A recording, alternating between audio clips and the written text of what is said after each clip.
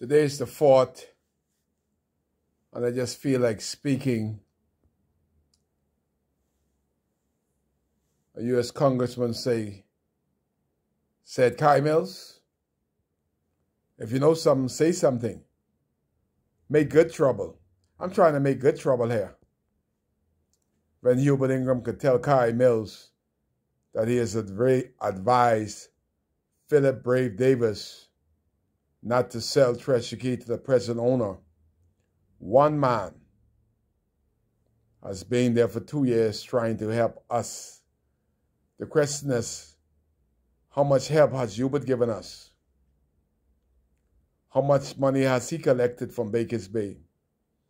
How many white people out there had he made millionaires? Jeff Jones probably was a millionaire. You imagine a man like Jeff Jones in Baker's Bay that came here befriended Hubert, and he's made more money in Baker's Bay. I think the fella got about two or three houses in, in Baker's Bay. This, this is how ignorant Hubert Ingraham those are. He brought the fella here, left him to work there illegally, and Jeff Jones got two or three houses.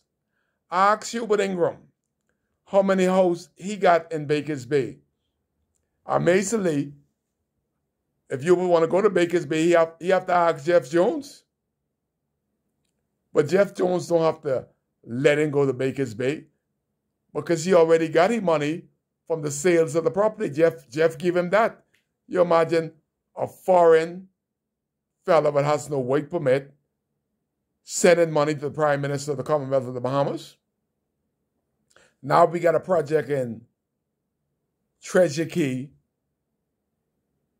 and Hubert Ingraham is advising Philip Brave Davis not to sell to the owner because Hubert Ingraham said so.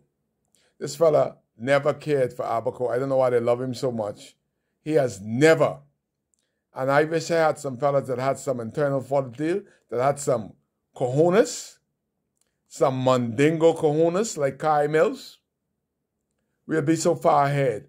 Ask yourself, North Abaco, people in my age group. What has Hubert Ingraham done for North Abaco that you could make a comfortable living? Everybody just about from North Abaco is in some aspect of government. You give them them, I call them dead end job. Immigration, customs, police, port, security, that's all he got for you. Them dead end job. And when you used to make money, guess what he did? He put on a shift system. The shift system was not to create more jobs. The shift system was to stop you from making more money. Custom then was making a beautiful salary on the overtime. Ain't no money in customs. The overtime is where the money was. And Hubert knew that. And he shut it off. Only people that he has helped is the people with the other color. Um, people like Betsy them. And those people up in Lightfoot Key. Uh, the Holocaust. Uh, you see them everywhere when the FNM comes up because they use the black Negroes to get what they want. It is evident one had $2 million. She had $2 million in her account by mistake. Boy, that's a big mistake. She needs to get locked up. Uh, tell the court why this why this woman is not before the courts. Who put it in your bank account? How you get it? Well, charge her. Let her explain it to the judge. She got white privilege and the black government is so sad. I will have a Conchy Joe behind in jail. That's what she's supposed to be. You know what $2 million could do, to, do for the people that living in the domes in Spring City? While they put them in the domes, she put the money in the bank. But Joe ain't say nothing about that. All he want to do be a blocker. Did nothing to create millionaires. Ask yourself, Which millionaire was created under Hubert Ingraham? Next question. Did Hubert Ingraham made millions while he was prime minister? Did his salary amount to the millions that he got? Did he put anybody else? We put him in a position to help him, but he helped himself. Uh, we still hiding. And he ran there with that old encyclopedia book trying to get more money. No money coming to Abaco. You think he would say uh, the sale of this book will go to build a house in Cooperstown or Murphytown or Dundas Town. I know you got some die-hard supporter there. You think any proceeds from the book of the I mean what I say and I say what I mean. The title is a lie. Because he never mean what he say, nor say what he mean. Absolutely a lie. I could prove it in the highest court. But I'm talking about what if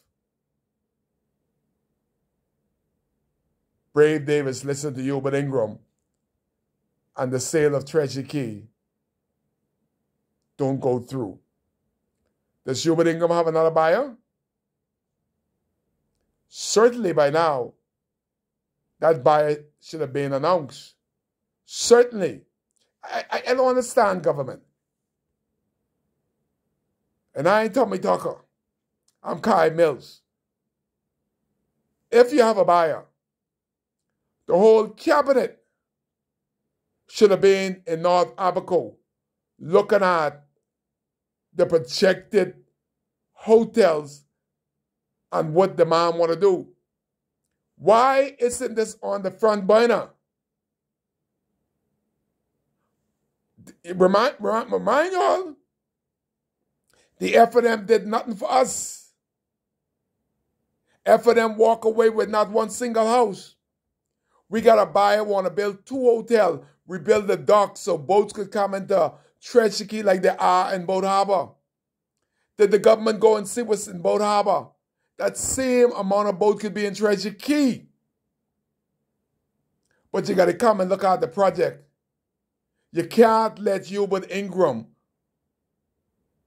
who said that no other government besides the PLP should run this country while he was the chairman of the Progressive Liberal Party, and he turned around, dogged his vomit, and run for the FNM. That right there shows you that book is a lie. But we are looking and hoping for the New Day government to step in and seal this deal so that people of North Abaco will have an opportunity. All the Haitians, all the uh, Mexicans, all the people from Nassau, Freeport, everybody got an opportunity. They come in with a deal sealed. We don't even know what the deal is. Because the people that are working at these resorts, they're from Nassau, so they're bringing in their friends, their lovers, without even inviting Abaco at the, at the, at the plate. That's the same thing with Brent did.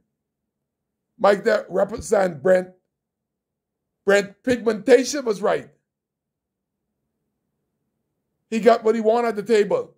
He's good again for the rest of his life. But what about the Negro man? Aren't y'all tired of just accepting the crumbs off the ground? While the foreigners take out the millions and y'all can't figure out why our national debt can't be paid. Give the big jobs to your people. Stop bringing in foreigners to run this country. By now, immigration should deny work permit for any manager at the Great Abaco Beach Hotel. By now, they should deny any work permit at the Abaco Club. Deny any work permit at the Delphi Club. They got people from the Shell Island and Africa running the Delphi Club. They should deny anybody from running Baker's Bay. Man, these white people got y'all hook, line, and sinker right in the back of heaven. Big hook just ripping to y'all. We are not progressing as a people if you don't put your people. You put all the foreigners, and these a foreign whites, y'all put them all up front. And they beating the blacks down because they see a government that don't care. Cay cares. We got to stop this, man. We're not growing as a country. We're regressing because we only count on election day. Cay counts every day.